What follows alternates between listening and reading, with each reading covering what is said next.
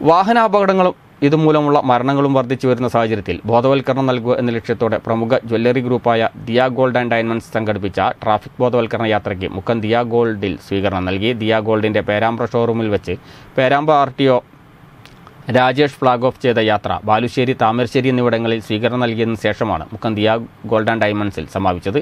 എല്ലാ സ്ഥലങ്ങളിലും ബോധവൽക്കരണവും നടത്തി. പരിപാടിക്ക് ആദിൽ അജീഷ് ഷമീർ എന്നിവർ നേതൃത്വം നൽകി.